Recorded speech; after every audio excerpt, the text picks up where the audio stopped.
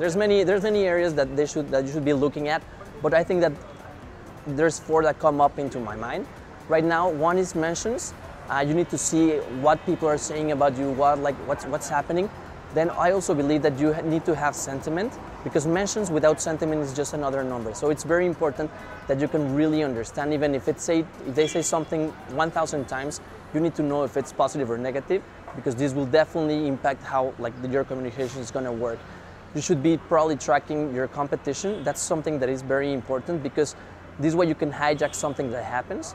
Uh, you could maybe understand what they're saying about like if there's a crisis with your competitor, you could use it to hijack and maybe get some of the things that are great about your brand and they're positive and just like kind of go through it and also track your influencers because at the end of the day influencers are becoming a very important part of marketing and they are talking about your brand they're doing content for your brand but at the end of the day they're like some they're, they're like another entity. So you don't control exactly what they do and what they do every day. So if something would happen to them you would need to track it just to make sure that everything is fine with your brand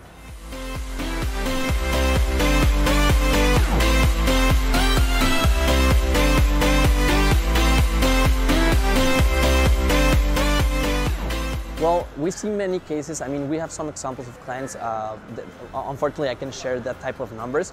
But uh, on the type of, I think clicks is great to, to track. Uh, but I believe that you need to go a little bit beyond that with the with the influence, like on ROI. I think people track clicks and clicks are great, but I think at the end of the day, we need to start moving along and more in the direction of ROI because that's what companies are looking for. I mean, even though you get a lot of clicks, you need to understand if these clicks are actually getting some revenue, and we can do that. Like so, it's important that you can have a tool that can track all this, all this engagement, all these clicks, all this information happening, and at the end of the day, check if this is turning into revenue or if it's not, because that's the end question that you want to have.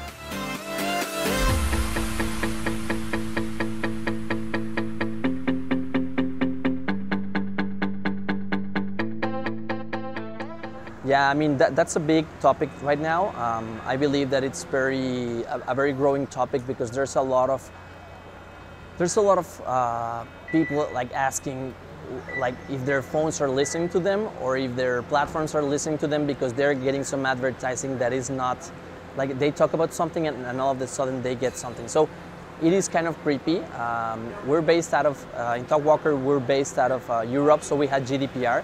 So we believe that there should be more laws protecting customers because at the end of the day, most of the customers, at least in Generation C and people below 25, are okay to give you their data as long as you can get correct and, and uh, accurate information for them.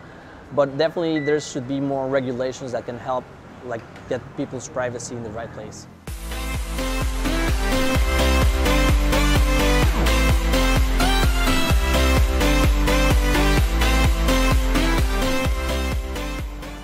Yeah, um, definitely. There's there's like there's tools that can help you. That, for example, I'm, I'm going to talk a little bit about what we do in Talkwalker.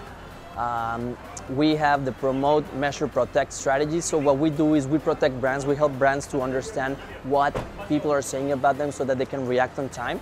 We can measure what they're saying and we can understand by our AI engine. We can feel the sentiment, see if it's good, bad, and we can honestly track where your brand is going and if it's going in the right direction.